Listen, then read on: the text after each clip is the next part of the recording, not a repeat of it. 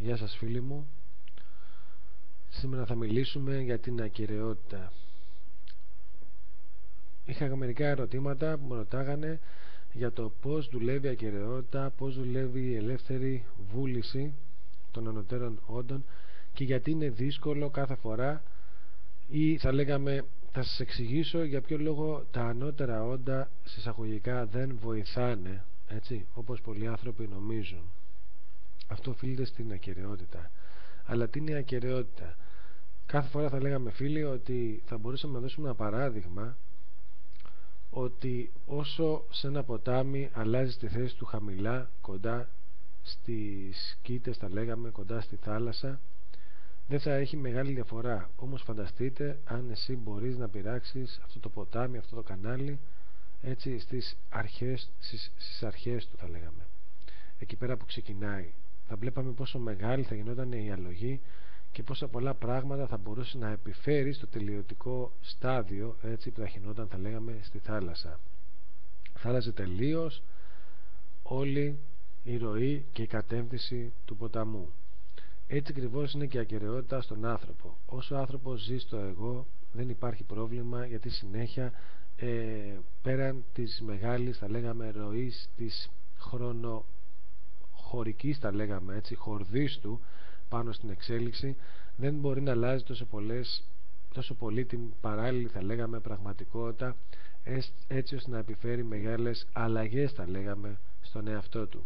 Όμως όταν ξυπνάει στα ανώτερα επίπεδα μπορεί και έρχεται σε επαφή με πάρα πολλές ανώτερες θα λέγαμε πτυχές του εαυτού του έτσι ώστε να μπορεί να πειράξει θα λέγαμε έτσι από τα ανώτερα επίπεδα την όλη ενέργεια μέσα στην εκδήλωση. Αυτό φίλοι καταλαβαίνετε ότι θα έχει τεράστια και διαφορετικά γεγονότα κάθε φορά που θα αλλάζει έτσι ώστε ένα όν της ανώτερης πυκνότητας θα λέγαμε ότι μόλις αλλάξει μια φορά και σχηματίσει μια ελεύθερη βούληση λίγο διαφορετική να μπαλατζάρει ή να ξεφύγει από αυτή την εναρμονία αυτόματα θα δημιουργήσει ένα ολόκληρο θα λέγαμε παράλληλο σύμπαν ώστε εκεί μέσα να παιχθεί όλη αυτή η ανισορροπία που εκδήλωσε εκείνο στην αρχή. Φανταστείτε ότι μετά μόλις επανέρθει έτσι ακριβώς σιγά σιγά μέσα όλο αυτό το σύμπαν που έχει φτιάξει θα αρχίζει να επανέρχεται η αρμονία. Και αυτό συμβαίνει με λίγα λόγια και στο δικό μας σύμπαν που διάλεξε να έχει την ελεύθερη βούληση έτσι στην εκδήλωσή του στον άνθρωπο τώρα καταλαβαίνετε φίλοι ότι κάποιος άνθρωπος ε, όταν ανεβαίνει στα ανώτερα επίπεδα θα λέγαμε επιβάλλεται να έχει αυτή την ακαιρεότητα για το δικό του εισαγωγικά καλό. Γιατί πλέον καταντάει η ελεύθερη βούληση να είναι τόσο εναρμονισμένη που να πηγαίνει με την ελεύθερη βούληση θα λέγαμε των ανωτέρων εαυτών του. Και όσο μπορεί και ενώνεται με τον ανώτερο εαυτό του τότε φίλοι καταλάβετε ότι το,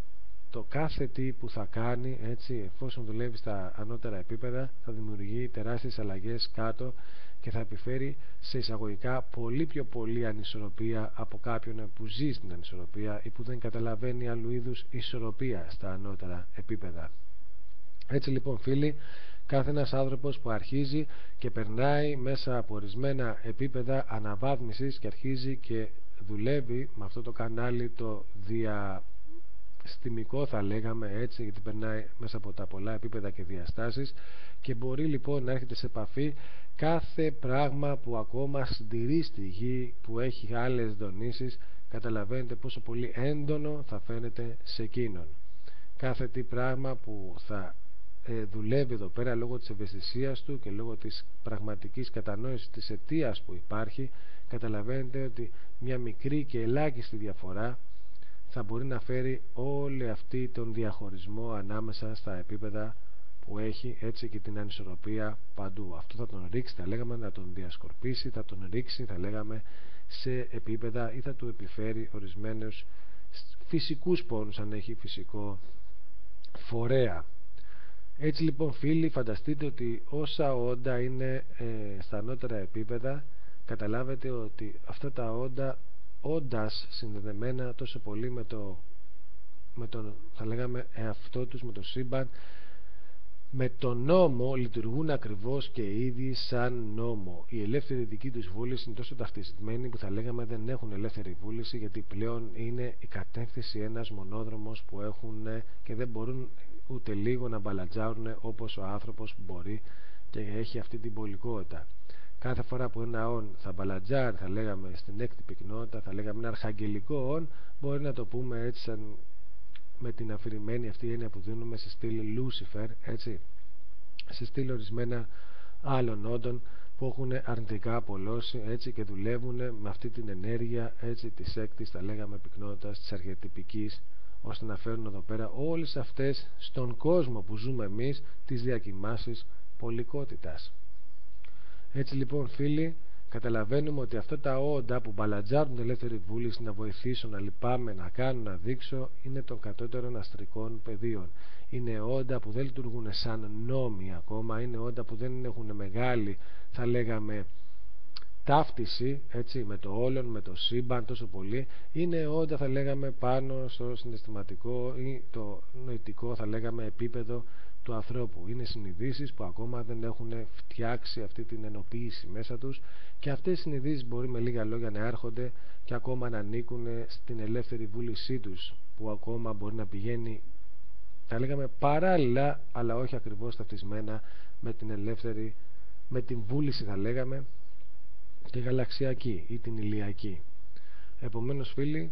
καταλάβετε ότι η ακυρεότητα στον άνθρωπο είναι κάτι που σιγά σιγά όσο αναβαθμίζεται θα υπάρχει. Και όλα αυτά που λένε σε εισαγωγικά ότι μπορείς ε, να έχεις την αναβάθμιση αλλά να μπορείς να έχεις λεφτά, να πηγαίνεις διακοπές, να κάνεις εκείνο, να κάνεις το άλλο, να έχεις αυτό, να έχεις εκείνο αυτά υπάρχουν μόνο για ένα ορισμένο επίπεδο αναβάθμισης φίλοι. Μετά από εκεί και πέρα αρχίζει η ακαιρεότητα να είναι σημαντική να είναι εύκολη, όχι δύσκολη, εύκολη αλλά και να καταλήγει σαν μονόδρομος στη δική μας αναβάθμιση. Έτσι λοιπόν όσους βλέπετε μερικούς ανθρώπους και είναι λίγο παράξενους ή μοναχικούς ή να είναι τόσο πολύ θα λέγαμε ε, σε ένα στυλ ζωής έτσι και δημιουργούν μια ακαιρεότητα είναι γιατί έχουν αναβαθμιστεί έτσι όχι όλοι μιλάμε για αυτό το πράγμα που καταλαβαίνουμε έτσι και που εννοούμε τώρα είναι γιατί έχουν αναβαθμιστεί σε ένα τέτοιο επίπεδο ώστε πλέον να είναι μονόδρομος έτσι εύκολος η χαρά τους, ο ενθουσιασμός τους να έρχεται κάτω από την ελεύθερη βούληση θα λέγαμε της φύσης και να έχει εναρμονιστεί. Δεν είναι ότι χάνει την ελεύθερη βούληση είναι ότι εναρμονίζει την ελεύθερη βούλησή του καταλάβετε λοιπόν φίλοι ότι κάθε φορά η ακαιρεότητα δείχνει το κατά πόσο πολύ κάποιος είναι θα λέγαμε ενωμένος με τη δική του συμπαντική δημιουργία κάτω από τα δικά του πιστεύω. Όμως αυτή η ακυρεότητα φίλοι πρέπει να είναι συνειδητή, εύκολη. Ούτε πίεση, ούτε παπαγαλία, ούτε προπαγάνδα, ούτε τίποτα άλλο. Αυτή η ακυρεότητα πρέπει να είναι εύκολη, να είσαι, όχι να θες να γίνεις, να είσαι και να νιώθεις καλά,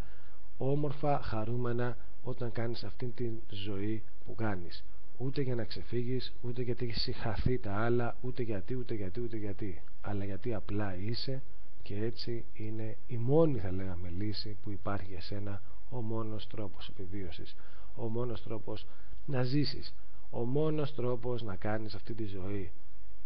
χωρίς να κατακρίνεις βέβαια έτσι όλα τα άλλα τα επίπεδα. Αυτά σχετικά με την ακυρεότητα ειρήνη σε όλους